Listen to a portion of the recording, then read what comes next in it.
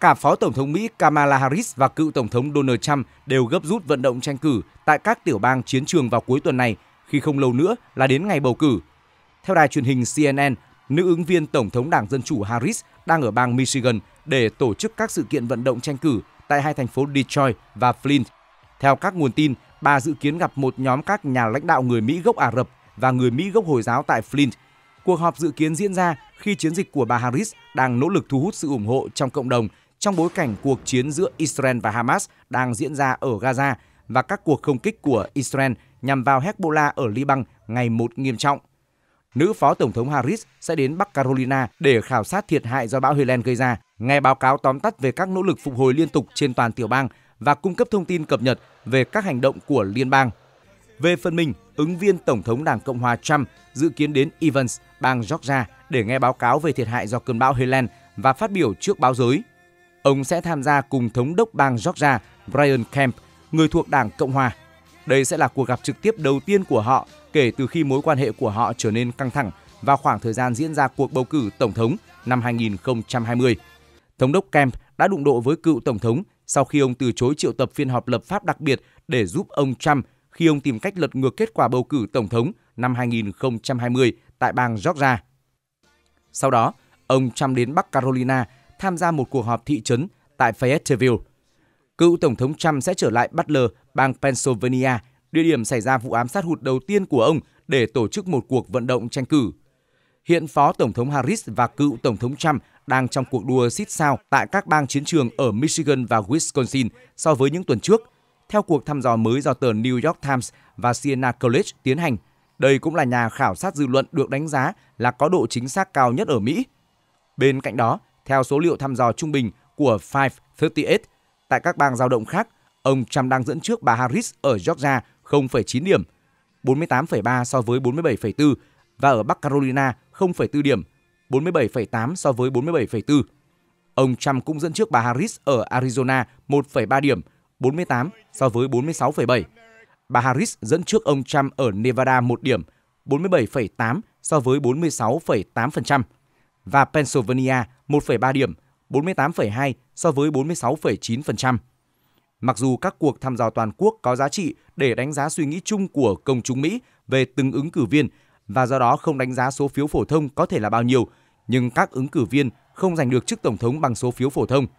Một ứng cử viên phải giành được ít nhất 270 phiếu đại cử tri trở lên, được phân bổ theo từng tiểu bang theo số đại diện và thượng nghị sĩ mà tiểu bang đó có để trở thành tổng thống.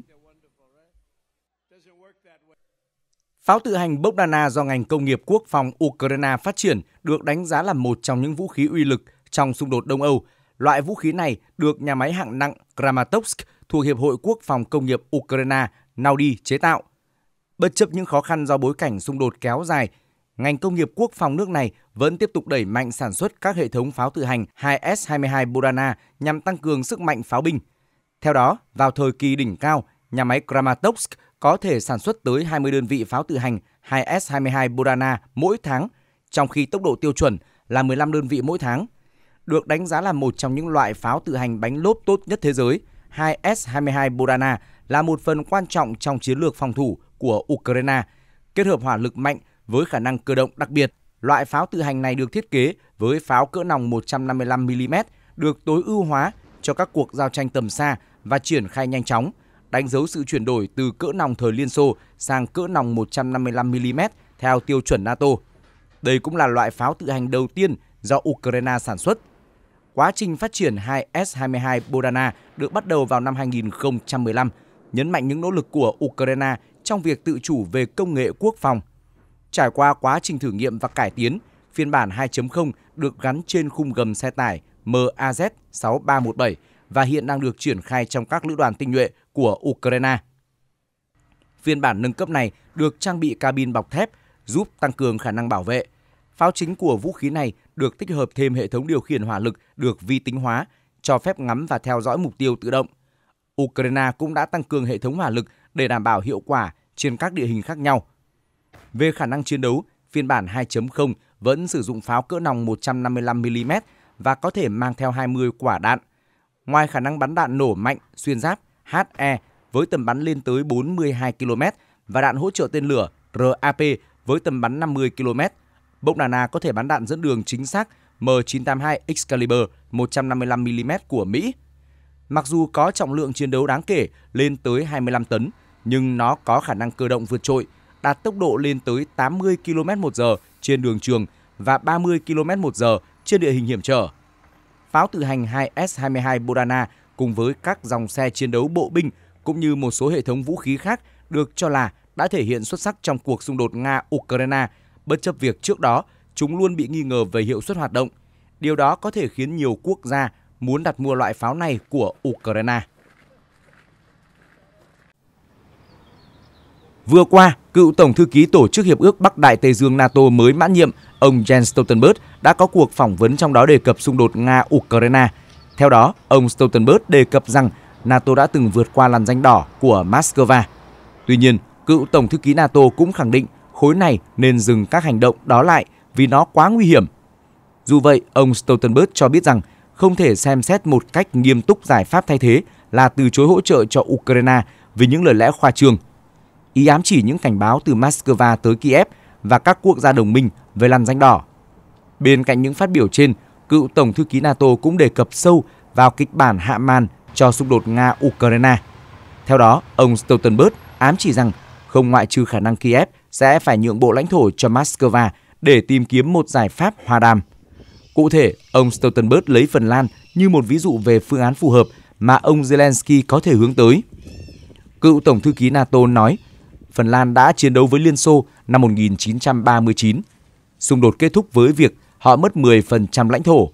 Tuy nhiên, họ nhận được một biên giới an toàn. Ông Jens Stoltenberg cũng lưu ý rằng tiến bộ theo hướng kể trên có thể xảy ra sau cuộc bầu cử Tổng thống Mỹ vào tháng 11. Cụ thể, ông nói, sau cuộc bầu cử có thể có xung lực mới, một nỗ lực mới để xoay chuyển tình thế, nhưng tôi không nghĩ đó sẽ là dương cờ trắng và bỏ cuộc. Đó có thể là nỗ lực thay đổi tình thế trên chiến trường, song song với việc đảm bảo chuyển động trên bàn đàm phán. Mặc dù vậy, Tổng thư ký thứ 13 của NATO nhấn mạnh, mọi quyết định thuộc về Ukraine, song các đồng minh và đối tác cần tạo điều kiện để họ có thể ngồi vào bàn đàm phán với Nga và đạt được điều gì đó có thể chấp nhận được, cho phép họ vẫn là một quốc gia độc lập.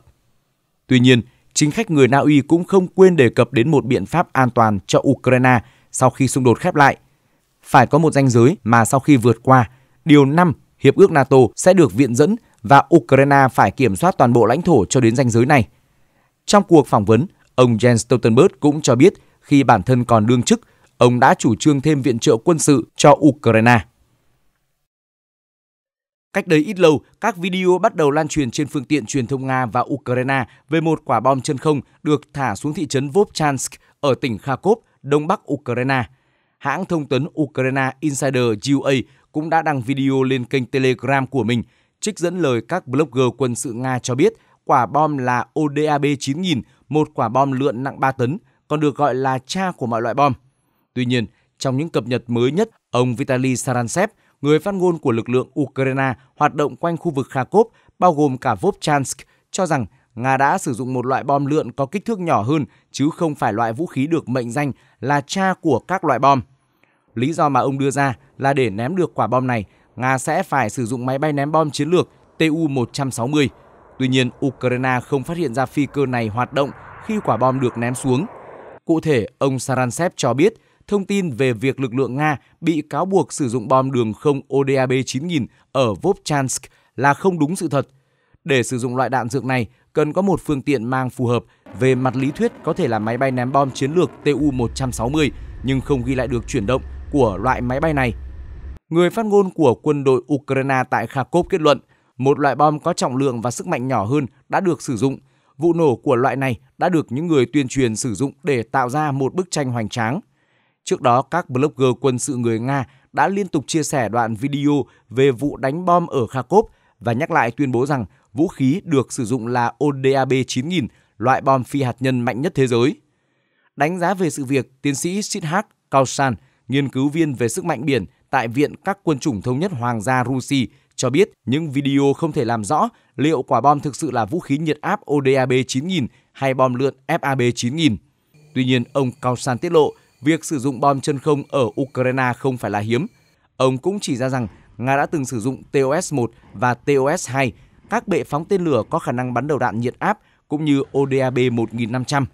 Ngoài ra, tiến sĩ Sidhak Kausan cũng khẳng định bất kể mẫu bom chính xác là gì, vụ nổ tàn khốc này cho thấy tác động dữ dội của cuộc tấn công đang nhằm vào các thành phố của Ukraine. Hiện nay, quân đội Nga cũng chưa bình luận chính thức về những thông tin liên quan đến các loại bom được sử dụng ở Kharkov.